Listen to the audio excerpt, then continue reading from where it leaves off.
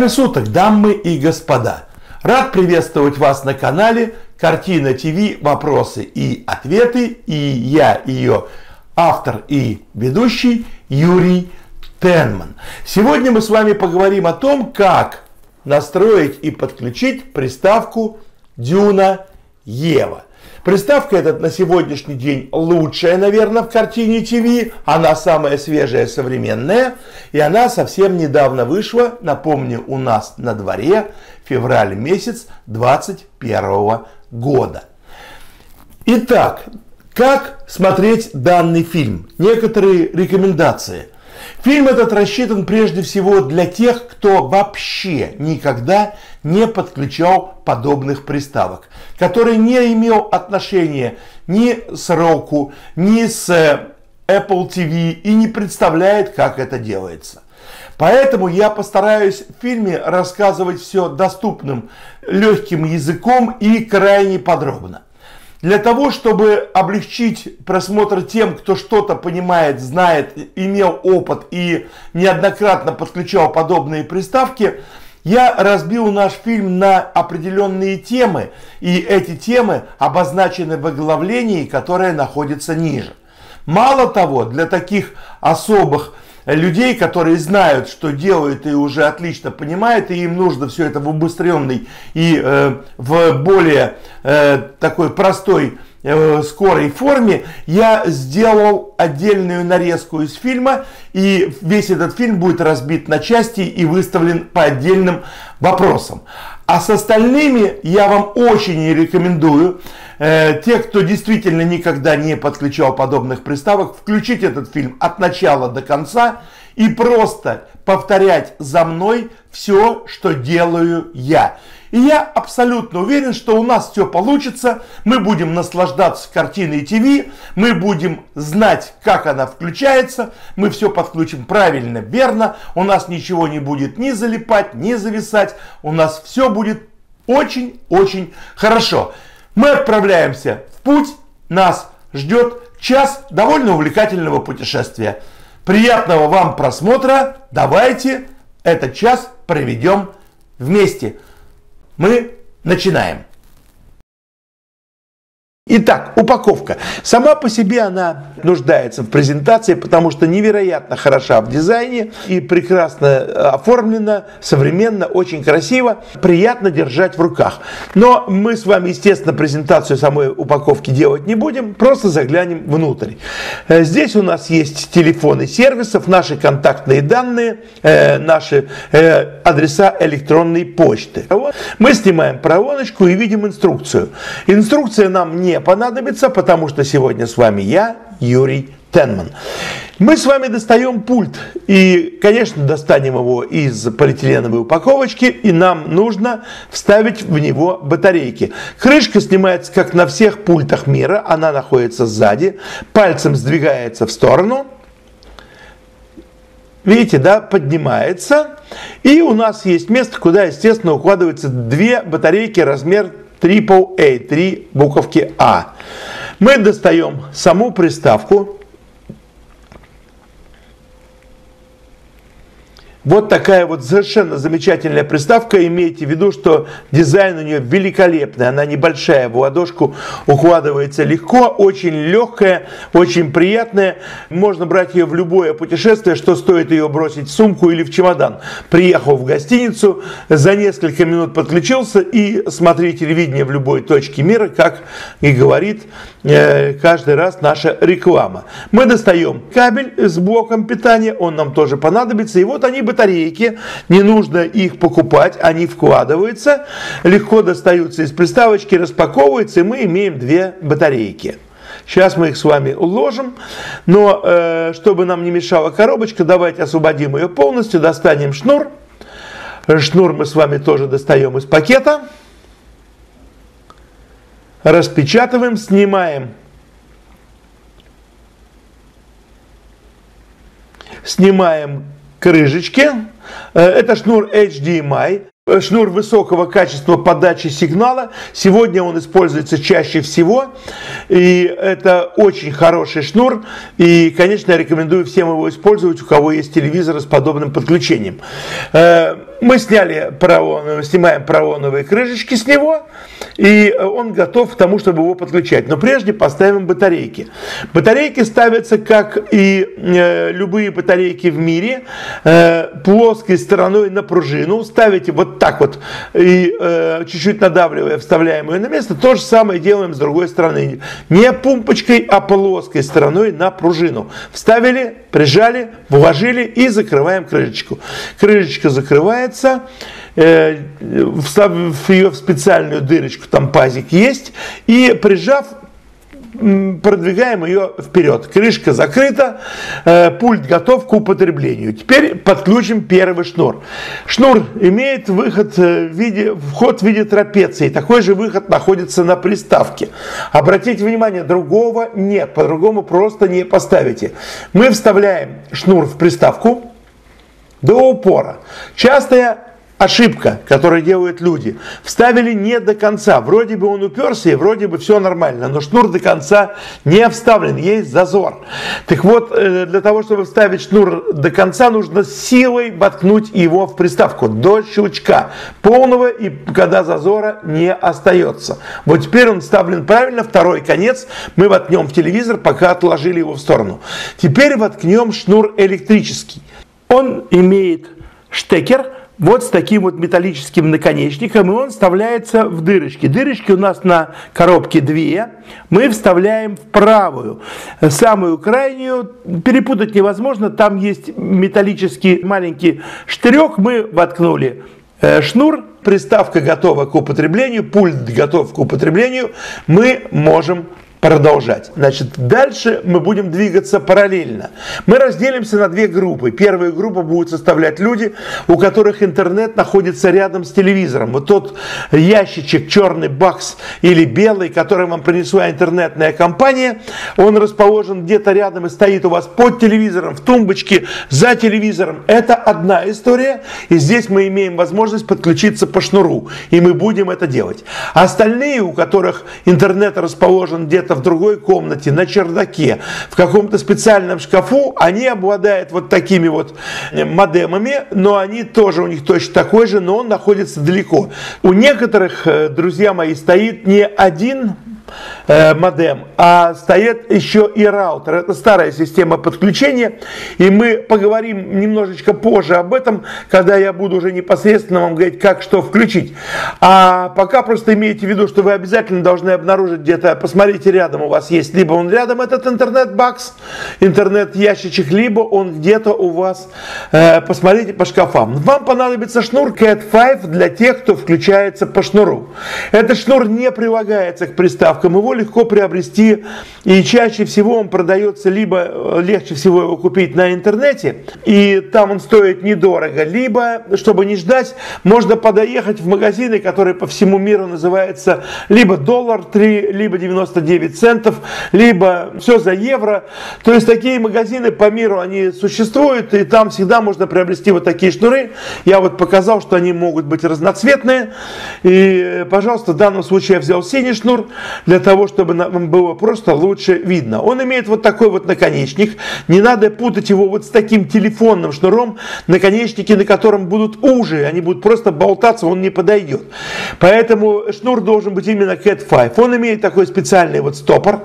Вы вставляете его в приставку. Там гнездо обозначено таким образом, что по-другому вы просто не вставите. Стопором кверху. И э, до щелчка шнур щелкнул и э, зафиксировался. Теперь мы можем второй конец ставить, внимание, либо в модем. Еще раз, вот так выглядят модемы. Обратите внимание, гнезда у них расположены по-разному. Либо вот так вот, э, как здесь обозначено на желтой полосе. И э, э так большинство модемов, наверное, будет иметь их либо оранжевый, либо желтый желтые, либо серые, либо черные входы, но 4 в ряд, либо кубиком разбросанные, как на последних модемах. Если у вас есть еще рядом вторая приставочка раутер, то она, как правило, выглядит вот таким примерно образом, и она с антенками. Теперь мы включаем по-любому либо в модем, либо в раутер в одной из четырех свободных гнезд. Теперь мы опять объединимся с теми, кто подключается и по шнурам, и по Wi-Fi, и подключим те телевизор к нашей приставке. Телевизор включается просто. Вот она типичная панель, задняя панель телевизора.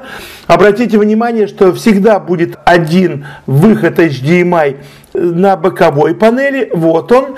И также могут быть один, два или даже три еще дополнительных выхода на задний. Включается просто, по-другому опять же не включим. И я вам очень советую запомнить номер, в который вы включаетесь. Это нам поможет в будущем. Теперь мы подключаем электрический блок питания к розетке. И если у нас система установилась правильное гнездо, с телевизором все сочетнулось, то мы должны увидеть вот такую заставку. Что делать, если заставку вы не увидели? Вы включили телевизор и, например, увидели ваше местное телевидение. Или у вас появилась самая распространенная, пожалуй, надпись на экране телевизора в данном случае, она гласит No Signal. А самое главное, что вы не видите нашей заставки. Что делать тогда? Тогда вы должны найти пульт от вашего телевизора. Лучше всего, если он будет родным. Не тот, что вам принесла кабельная компания, и который принадлежит приставке вашего кабельного местного телевидения, а именно родной пульт. Пульты есть трех видов. Я их разделил на три группы. Первая группа это так называемые общие пульты. Это старые модели телевизоров, относительно старые. Они, конечно, не совсем старые. Но это те телевизоры, у которых пульты выглядят примерно вот так, как я обозначил в верхнем ряду. Это большинство, наверное, телевизоров их имеет. Они всегда подписаны снизу именем вашей модели телевизора. Единственная модель, которая не устанавливает имени на пульте, это Vija и они ставят вот такой треугольничек. Если у вас простые телевизоры, вот такие старые модели телевизоров с кнопками 1, 2, 3, 4, 5, тогда вы э, должны найти на пульте кнопку с изображением либо вот этих двух символов, либо просто э, подписанные кнопки Input, Source или TV Video, в зависимости от модели телевизора. Вы находите такую кнопку, давите ее один раз, и у вас должен появиться список. В этом списке будут обозначены все входы, которые э, у вас в телевизоре есть. Э, некоторые модели э, так устроены, что они вам обозначат прежде всего сверху активные входы, куда вот ноты шнуры, они будут яркими. Другие будут неактивные, вы просто не сможете к ним подойти и их выбрать. Нас интересует выходы HDMI 1, 2, 3 или 4. В данном случае у меня вот здесь на этой картинке их 4 да, в этом телевизоре. На каком-то из них у нас сейчас подключено наше телевидение. Если мы сейчас видим, что в данном случае у меня выбран HDMI 1, а сигнал не найден, значит мы включились не в первое гнездо, а во второе, третье или четвертое.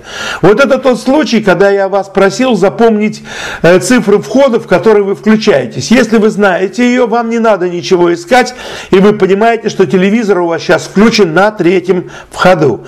Значит, нужно с помощью стрелочек вверх-вниз, влево, вправо на пульте, внимание, вашего телевизора перейти на HDMI 3 и нажать центральную кнопку. Она может называться ОК, Enter или просто быть круглой большой кнопкой в центре вашего пульта.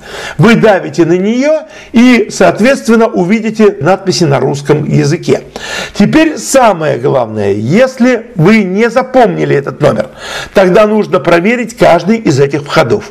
Перейдите на HDMI 2, опять же нажав на нижнюю стрелочку, или можете переходить, во многих телевизорах это срабатывает, дважды давите на кнопку Input Source или вот со значком, она автоматически будет перепрыгивать. Единственное, имейте в виду, что телевизор не успевает сразу найти сигнал. Ему нужно несколько секунд. Поэтому, если вы перешли на следующий, в данном случае, э, вход HDMI 2, не торопитесь сразу перебегать на HDMI 3. Подождите секунд 5 и убедитесь, действительно ли не найден сигнал. Если сигнал найден, вы должны обязательно увидеть надписи на русском языке. Вы поймете, что вы, соответственно, находитесь в русской приставке, то есть в нашей картине ТВ. Наша приставка в данном случае на иностранных языках не разговаривает. Если у вас телевизор Roku и пульт у вас вот такой, как сейчас обозначен на экране, вы давите на пульте на кнопку с изображением домика, и у вас появляется вот такое меню. Здесь все очень просто. Вы уходите направо, соответственно, стрелочкой вправо, и у вас появляется возможность выбрать либо HDMI 1, либо HDMI 2, либо HDMI 3, и вы обнаружите нашу приставку. Если у вас телевизоры восьмого поколения, и у вас пульт вот такой вот гнутый, тогда нужно найти главную кнопку, кнопку с изображением опять же домика, вот она, и вы, надавив ее, попадаете в главное меню управления на телевизоре.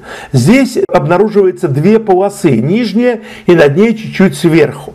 Вам нужно выбрать нижнюю полосу, колесом вверх-вниз, влево-право и уйти налево до тех пор, пока не увидите квадрат source. В нем также будет стоять этот знакомый нам уже значок, квадратик с входящей стрелочкой. Когда вы его выбираете, у вас сверху высветится еще одна лента, на которой появятся кружки. Один всегда будет обозначать телевидение, ТВ, а дальше будут идти те гнезда, которые у вас активны. Как правило, это сделано так. Либо это будут квадраты, либо это будут кружки. Уйдя наверх на пульте, нажав на колесо вверх, выходим на э, верхнюю полосу, перемещаемся вправо на HDMI 1, вы надавите на центральную кнопку и опять же увидите надписи на русском языке. Внимание! Что делать, если вы прошли все входы и HDMI 1, HDMI 3 или 4, или как в некоторых списках, где нету надписи HDMI видео 1, 2, 3, 4, 5, 6, но вы прошли все, что можно, а приставку нашу так и не обнаружили. Это крайне редкий случай. Внизу под этим фильмом стоит ссылка на ролик, который так и называется «Что делать, если приставка несовместима с телевизором?». Загляните туда, и там конкретный ответ на этот вопрос. С остальными продолжаем. Мы все вот сейчас вернулись и подошли сюда, вот к этому моменту. И здесь мы опять разделимся, потому что сейчас мы приступаем непосредственно к настройке приставки уже картины ТВ. Итак, те, кто настраивается по шнуру. Мы возвращаемся к тому, с чего мы с вами начали, и мы с вами увидели вот такую вот надпись. Идет поиск пульта. Нажмите любую кнопку. Надпись понятная. Мы берем пульт уже от картины ТВ. Он выглядит так, как справа. И давим любую кнопку на пульте.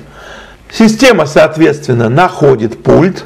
И мы увидим галочку и кнопку ОК, мы давим Enter. Вам будет предложена автоматическая настройка приставки. Соглашаемся с этим, ничего не меняем, просто давим кнопку Enter.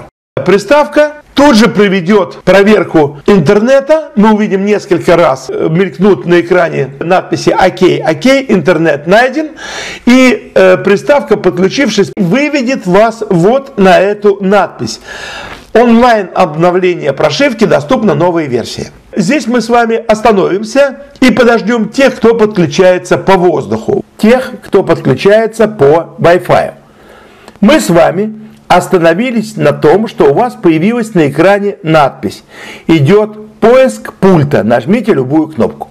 Если вы ее еще не нажали, то нажмите любую кнопку на пульте, у вас появится галочка и кнопка «Ок».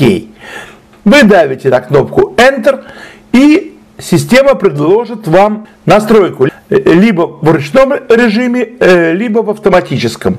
У нас с вами по определению выбрано автоматическое, мы ничего не меняем, просто давим кнопку Enter. И поскольку, поскольку не будет найден и распознан интернет приставкой, потому что шнур у нас с вами не подключен, то по определению система предложит вам беспроводное подключение. Вот мы сейчас видим на экране, белой рамочкой выбрано беспроводное Wi-Fi.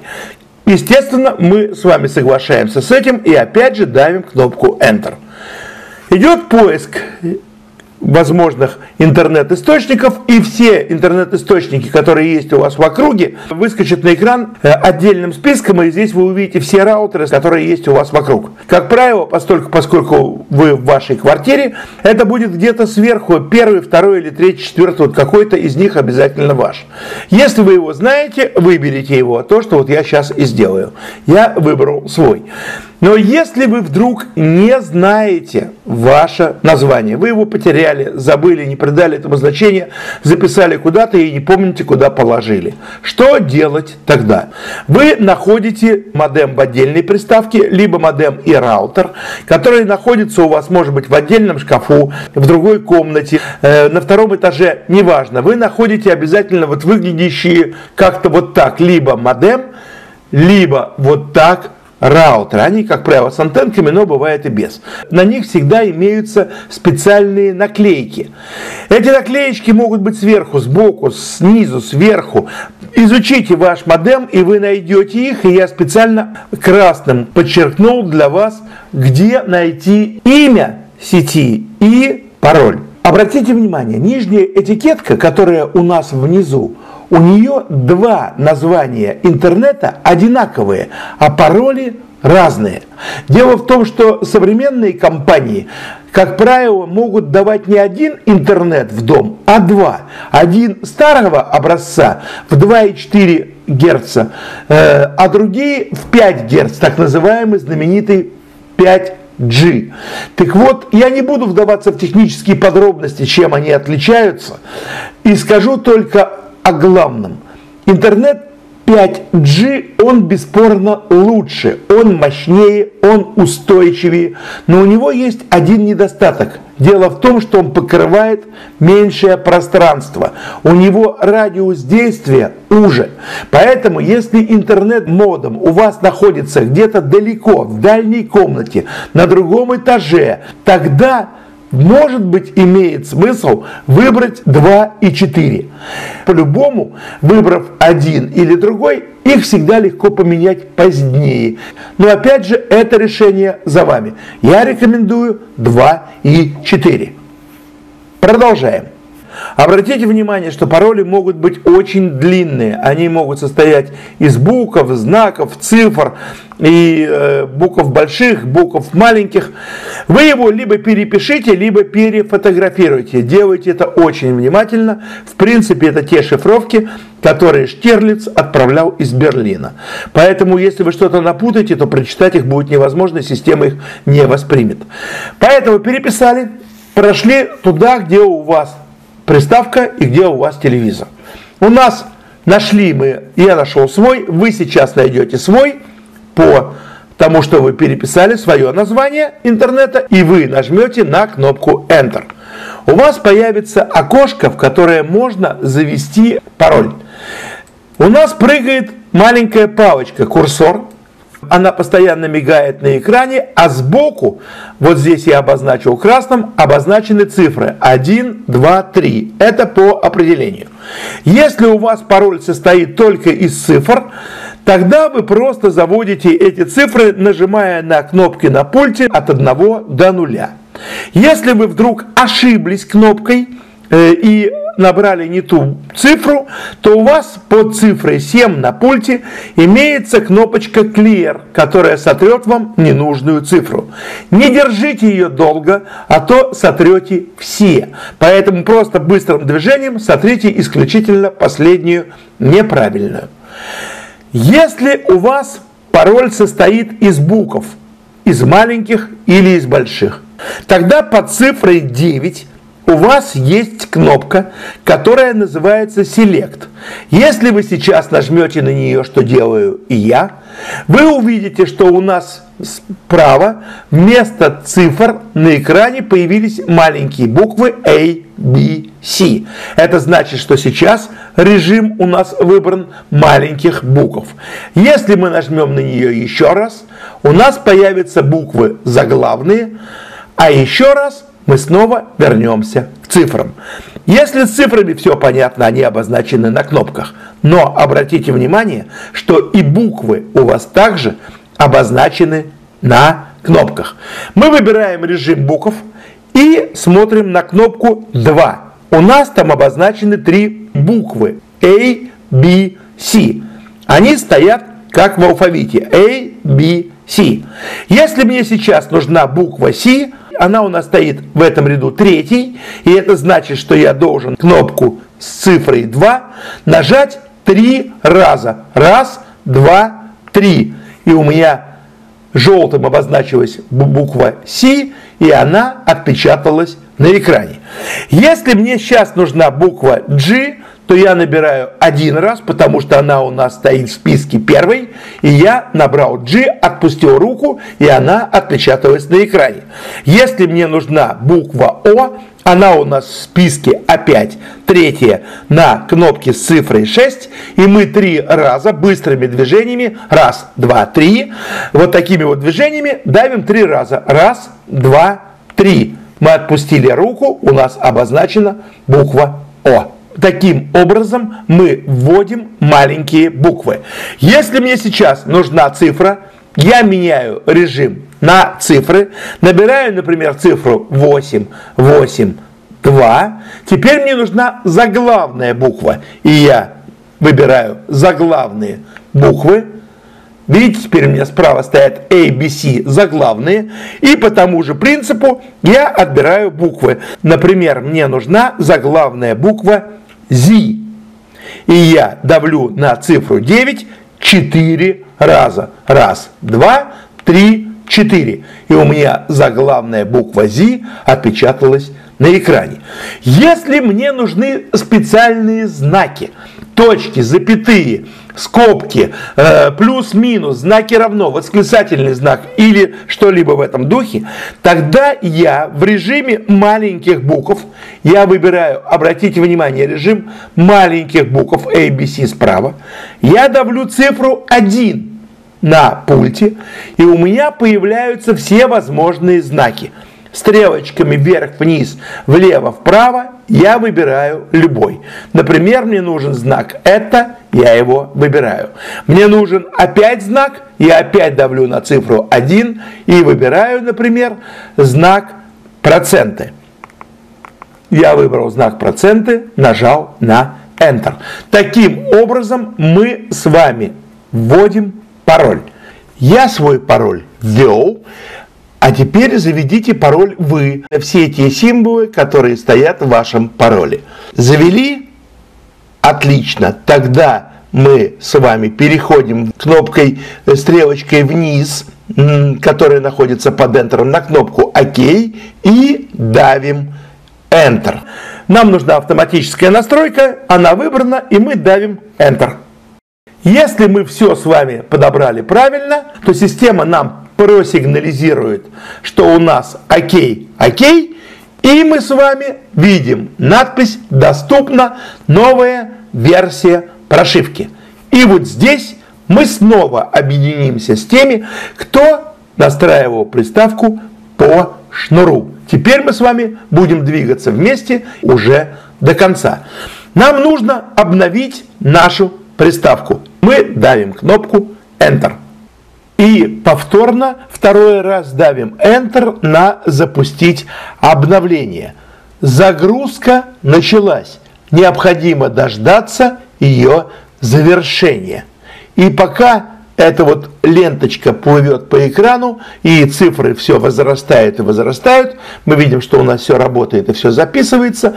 У меня есть несколько э, минут для того, чтобы сказать вам какие-то важные моменты. Они крайне редкие, но могут при э, настройках приставок произойти, чтобы вы не паниковали и знали, что делать. Вас предупредили э, на предыдущей странице, если кто успел прочитать, кому было любопытно, но в принципе я вам скажу, что приставку не следует отключать от сети, вот именно в тот момент, когда продолжается загрузка. Это не рекомендовано, говорят, что это плохо для приставки. Но у меня было пару раз, когда вдруг неожиданно во время загрузки выключалось электричество. Вы знаете, ничего страшного не происходит. Дают свет снова, включаешь приставку обратно, она подключается с этого же момента, она вводит вас в настройки, и вы просто повторяете загрузку. Бывает еще и два ряда ошибок, которые происходят при загрузке файлов. Это связано в основном со скоростью или нестабильностью интернета. Если у вас не прошла загрузка, на экране появится надпись «Ошибка», и если у вас такая ошибка случилась, тогда, пожалуйста, перейдите на следующий ролик, который называется «Что делать, если при загрузке обновлений произошел сбой». Он есть внизу по ссылке или на нашем канале зайдите и оттуда начните настраивать вашу приставку уже вместе со мной. Я вам покажу, что делать дальше. Ну вот, мы видим с вами, что загрузка продолжается. Ленточка у нас все дальше и дальше двигается к концу. У каждого загрузка будет идти по-своему, по времени. У кого-то быстрее, у кого-то медленнее. Поэтому я рекомендую здесь, если э, я вас опередил, нажмите на паузу, дождитесь полной загрузки, и когда у вас приставка будет перезапущена, и вы увидите лого картины ТВ на экране, снимайте смело с паузы, и мы с вами продолжим. И вот началась обработка полученных приставкой файлов.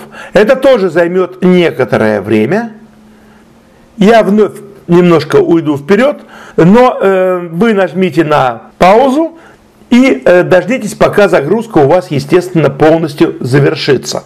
Впитает в себя всю информацию. И обратите внимание, теперь у нас лого уже совсем другое.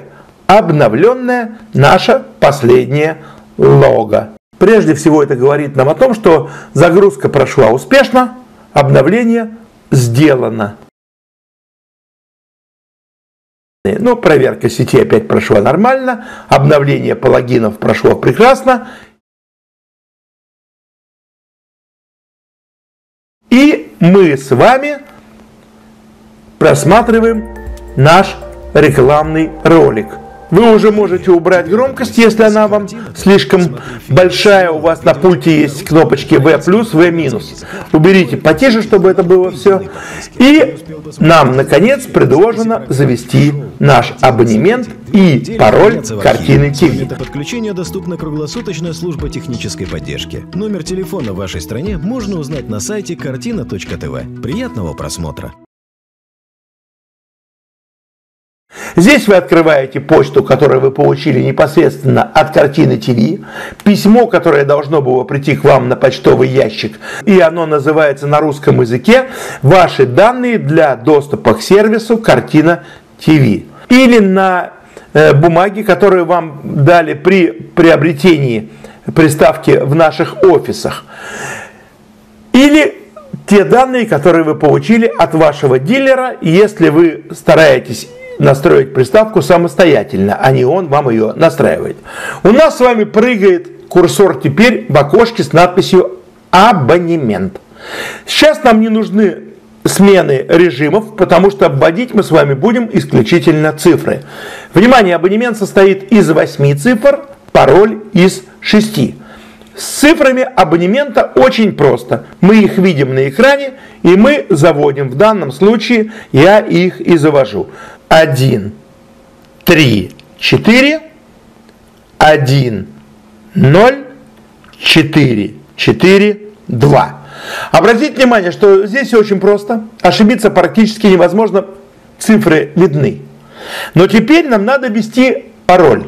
И мы для этого переходим вниз, нажав на стрелочку вниз под кнопкой Enter. И у нас курсор запрыгал, палочка, в обведенном белой рамкой окошке пароль. И здесь мы будем заводить пароль. 6 цифр. Внимание! Чаще всего люди ошибаются именно здесь. Для того, чтобы завести пароль правильно, не нужно заводить цифры подряд, все вместе. Не вводите их так, как мы заводили в абонементе 1, 3, 4, 1, 0, 4, 4, 2. Так не получится. Вы обязательно ошибетесь. Для того, чтобы завести цифры правильно, вам надо заводить их по одной, потому что здесь цифры вы видеть не будете. Вы будете видеть звездочки. Поэтому ошибиться довольно просто. Я завожу первую цифру, допустим, цифру 2. И у меня появилась звездочка. Я убедился в том, что у меня одна звездочка выскочила на экран, а не две. И что вообще она выскочила, я ее учел, и я давлю на следующую цифру. Например, цифру 3. У меня появилась вторая звездочка. Итак, звездочка за звездочкой, я, проверяя и сверяясь с экраном, крайне внимательно завожу все цифры.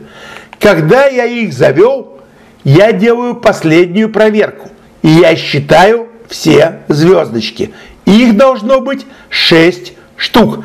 Я посмотрел, у меня 6 звездочек, я в этом убедился, и только после этого я ухожу вниз под кнопкой Enter на нижнюю стрелочку на кнопку ОК. И после этого я давлю Enter. Если я ввел пароль правильно и он действительный, я увижу вот такую картину. Я попал непосредственно в настройки картины ТВ. Друзья мои, я не могу здесь отвечать стопроцентно за Европу или за Азию. Я вам говорю то, что мы сейчас имеем в Соединенных Штатах. Но, скорее всего, это срабатывает всюду.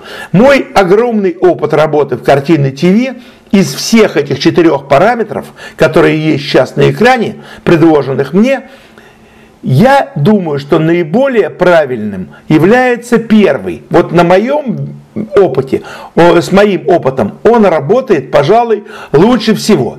Сейчас у нас с вами по определению выбран второй, где написано dash, и видите, у меня после dash в скобочке стоит звездочка. Так вот, э, я не стану оставлять dash, а я перейду наверх, кнопкой вверх над Enter и выберу самую верхнюю строку и нажму Enter. И сейчас у меня звездочка перепрыгнула наверх. Я выбираю этот параметр. В сервисе, в картине ТВ э, из Германии довольно часто мне от наших инструкторов технического отдела, которые великолепно знают приставки, они в Европе предпочитают чаще всего ставить HL S. Но в любом случае вы должны знать, что параметры вы всегда можете поменять. И если у вас будет что-то не так, вы заметите это работать, то это всегда можно изменить. Но по определению я бы оставил HTTP. Выберите верхнюю строку. Это мой дилерский совет. Вы можете им воспользоваться или нет. Но либо HTTP, либо HLS. Это два самых популярных параметра. Мы выбрали HTTP, у нас звездочка выставлена там же, и мы с вами идем вниз, кнопкой вниз под Enter, и выбираем кнопку ОК. Мы ее выбрали и опять давим кнопку Enter. Мы попадаем на следующую строку. И здесь вы должны посмотреть, где вы находитесь я в Соединенных Штатах, и у меня автоматически, видите, я переместился наверх, на первую строку, где у меня стоит сервер вещания. И у меня выбрано, поскольку, поскольку я в Штатах, я на восточном побережье, то у меня, соответственно, выбрано East Coast. Если мне нужно другое побережье, или если мне нужна Европа, или если мне нужна Азия, я могу легко это поменять. Как? Я давлю на кнопку Enter, выбрав строку USA East Coast в данном случае. У меня появляется выбор. Посмотрите географически, где вы находитесь. Если вы в Европе, выберите Европу, подберите ближайший до вас сервер вещания. Автоматически я ставить не рекомендую. Я опять же останавливаюсь на USA East Coast, давлю Enter, сейчас он у меня получается выбранным, и я выбираю следующий параметр. Битрейт вещания мы с вами не трогаем, оставляем так, как есть. Стандарт не советую его трогать. А вот время буферизации 3 секунды я бы поменял.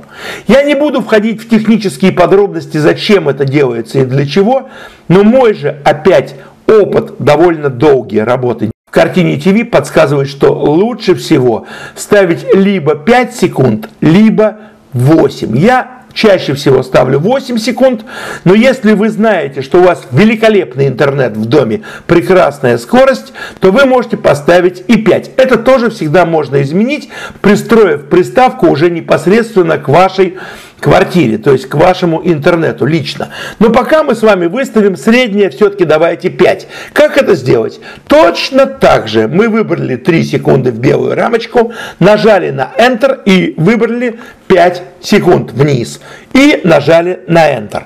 Параметр установлен. Теперь задержка вещания. Здесь обратите внимание, каким каналам вы отдаете предпочтение. Если вы больше смотрите украинские каналы, выставляйте по Киеву. Армянские каналы выставляйте по Еревану. В данном случае мы выставляем по Москве. У меня разница сейчас с Москвой 8 часов, а не 7. Поэтому опять же, выбрав семерку в белую рамочку, я давлю на Enter, выбираю цифру 8 и давлю Enter. У меня установился параметр 8 часов. Не забывайте, когда меняются часы в регионах и в странах, где производится смена, то не забывайте поменять часы и здесь. Вы переводите на руках, но и здесь надо сменить, иначе у вас двинется программа передач. Мы уходим вниз на ОК и давим кнопку Enter. Настройка, в принципе, практически закончена. Но мы вернемся обратно в настройки. Лево-право перемещает нас по квадратам. Вот сейчас я перемещаюсь вправо и по одному квадратику бегаю по кругу. Если я пойду налево, я буду делать то же самое и также буду перемещаться по одному квадрату. Мне нужно найти квадрат шестеренками. Он называется настройки. Я выставил его в центр экрана. Он у меня обведен тонкой белой рамочкой. Он мне нужен. И я давлю кнопку Enter. Я попадаю в настройки. Мы видим тоже квадраты. У меня выбран первый квадрат. И я давлю на Enter. Мы попадаем в режим общих настроек. Здесь есть язык интерфейса. Если вы говорите лучше по-русски и предпочитаете русский язык, оставьте его. Если вам нужен украинский или армянский, вы можете выбрать и его. Здесь есть все языки. Это не значит, что у вас будут переведены э, передачи на этот язык. Конечно, никакого дубляжа не появится и не появится даже титров на передачах, но управление вы можете поменять. Поскольку, поскольку мне по-русски легче, я оставляю русский язык. Но вы можете здесь легко поменять язык. Дальше. У вас часовой пояс установлен самой приставкой автоматически э, с вашего интернета. Но это может произойти не всегда и обязательно проверьте. Вот сейчас у меня э, справа стоят сверху часы, где написано 19.37 14 февраля. Убедитесь в том, что это время точно соответствует тому, где вы сейчас находитесь. Если время отстает или наоборот убегает на час или на два, вы можете легко выбрать следующую строку и нажав на Enter, убедиться в том, чтобы время было подогнано правильно. Здесь все часовые пояса разбиты от минуса до плюса. У меня правильно все стоит, я ничего не трогаю. Экранная заставка по определению выключена, это хорошо. А вот скрывать дополнительные настройки. Стоит «Да». Мы с вами выбираем эту надпись, давим на Enter и выбираем «Нет». Вниз уходим, выбрали «Нет». Под кнопкой Enter на нижнюю стрелочку нажав и давим Enter. У меня теперь появилось скрывать дополнительные настройки «Нет». Я сделал эту часть настроек, теперь мне нужно вернуться на один шаг назад в те квадраты, которые мы с вами видели. Кнопка обратного хода у вас находится под кнопкой Enter слева. Это кругленькая стрелочка с левой стороны. Мы давим на нее, попадаем опять на квадрат общие. Теперь мы с вами идем в квадрат картина ТВ. Давим Enter и попадаем вот сюда. Убедитесь в том, что ваш абонемент действует правильно. Сверху над рамочкой у вас стоит точная дата окончания вашего абонемента. 15 февраля 2021 года вижу я. Немцы педанты, мы все это знаем, поэтому абонемент работает точно до минуты 17 часов 55 минут. Обратите внимание, что абонемент продается на 365 дней, вне зависимости от того, это год высокосный или нет. Если в феврале 29 дней, то это значит, что один день пропадет. Но это справедливо. Так легче компании вести финансовый отчет. 365 дней год, и это правильно. Стандарты выставлены, все выставлено. Что нам здесь следует поменять? Мы идем в самую нижнюю строку. Дополнительные настройки. Выбираем ее, давим Enter. И здесь мы видим два показателя – телетека и расширенная программа передач. Друзья мои, вы можете оставить их так, как есть сейчас, потому что я о них расскажу тогда, когда мы с вами будем учиться пользоваться непосредственно приставкой. Сейчас оставим так, как есть здесь, но идем в надпись «Изменить». Родительский код. Мы с вами давим Enter. И у нас выскакивают три окошка. Текущий код – новый код и подтверждение. В текущий код мы с вами заводим 6 цифр, внимание, нашего пароля. Те цифры, которые мы с вами очень внимательно заводили звездочками. Не 8 цифр абонемента, а 6 цифр пароля. Поэтому мы сейчас с вами их заводим. Опять же, не торопитесь. Делаем это крайне внимательно. Мы их завели, мы с вами убедились в том, что цифры набраны правильно. Мы с вами выбираем новый код. Пускай это будет 2, 8, 6.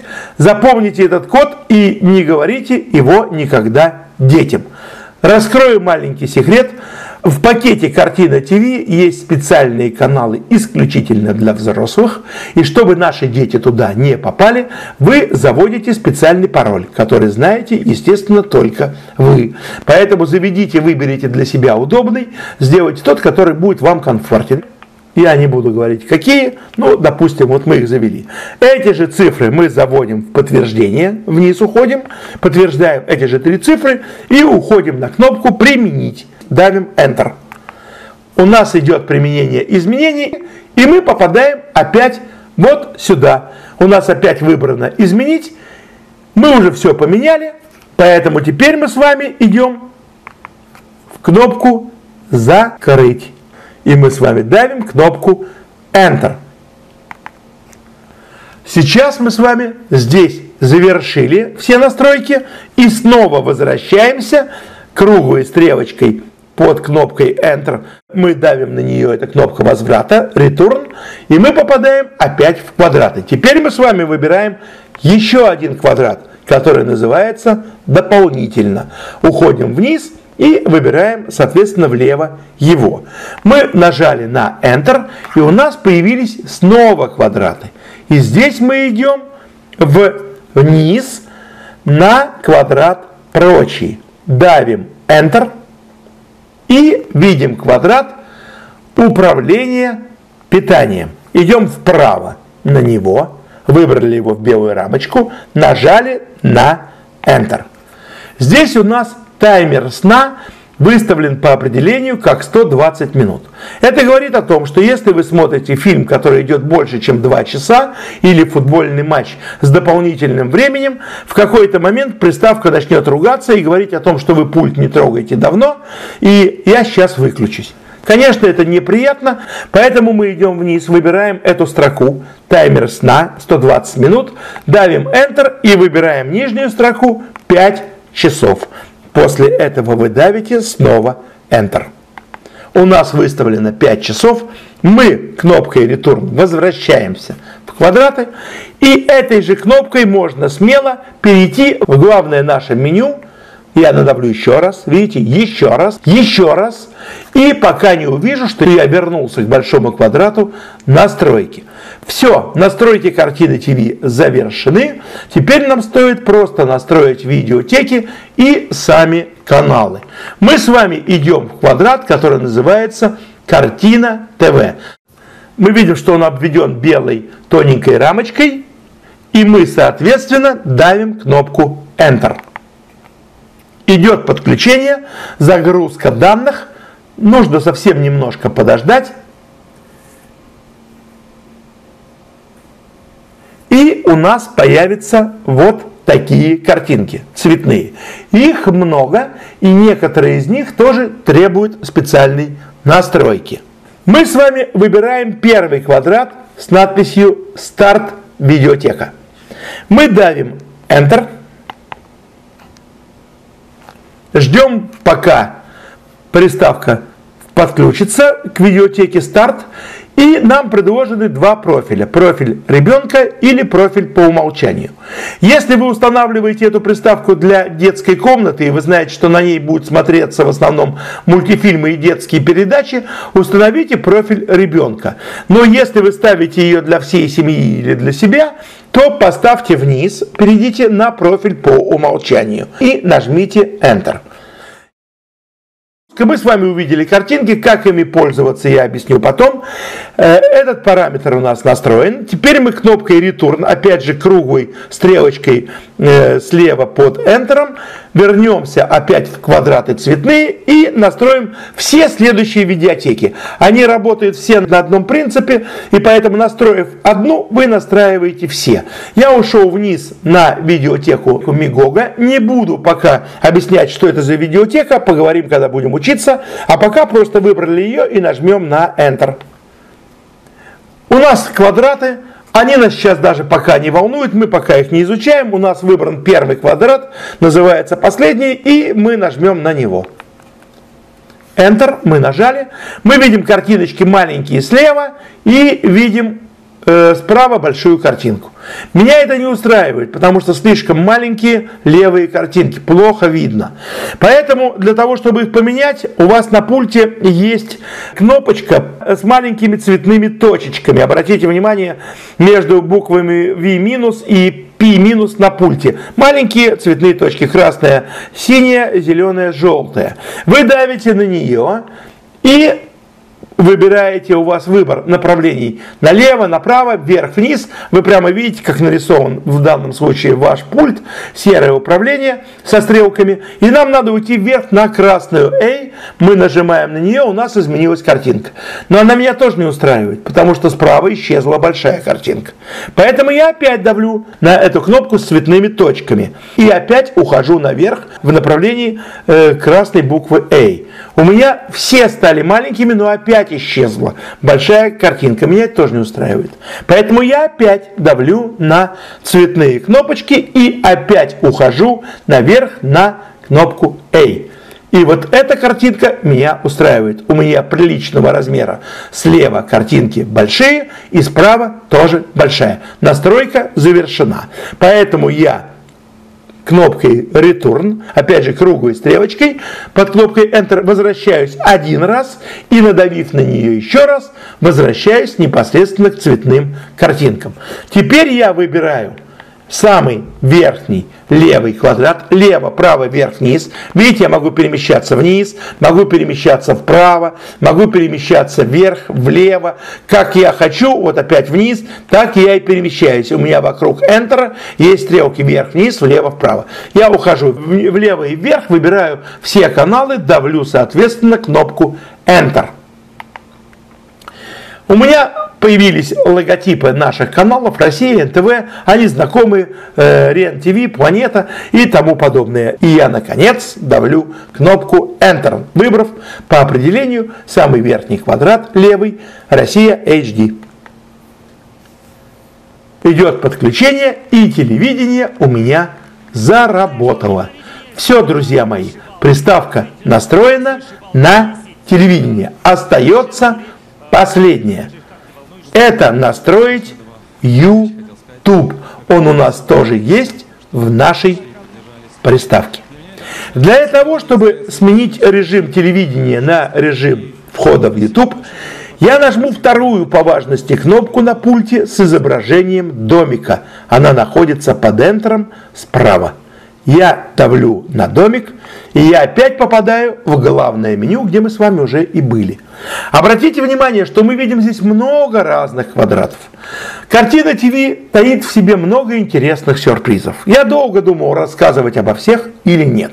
И понял, что я не хочу отбирать честно заработанный хлеб у нашей технической службы в Германии, которая великолепно работает 24 часа в сутки, 365 дней в году на русском языке, и со всех стран мира она работает абсолютно бесплатно. Поэтому звоните, если хотите узнать что-то большее, они вам расскажут. Или еще второй очень хороший ход, обратитесь к нашим представителям, то есть к нашим дилерам. Они с удовольствием помогут вам разобраться во всех тонкостях приставки Ева.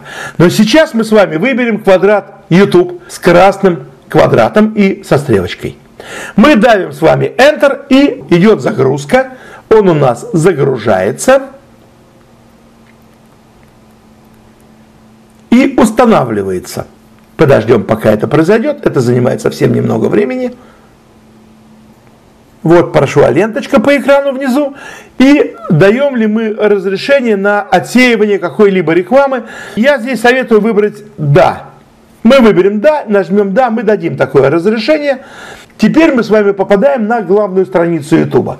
Друзья мои, э, вот так она выглядит. Как ей пользоваться, я научу тоже, когда будем в следующем ролике учиться пользоваться приставкой. И для этого мы с вами перейдем в следующий ролик. Сейчас мы с вами вернемся туда, где мы с вами были, в наше телевидение, нажмем на кнопку с изображением домика. Мы с вами опять увидим главное меню, перейдем налево в квадрат «Картина ТВ» и нажмем Enter. У нас по определению будет выбран квадратик с надписью «Все каналы». Мы опять нажмем на Enter – у нас по определению будет выбран канал Россия HD, и мы опять нажмем на Enter. Телевидение заработало, и вот именно отсюда начнется обучение в следующем ролике. Спасибо вам за то, что вы были со мной. Надеюсь, что эта информация была для вас полезной.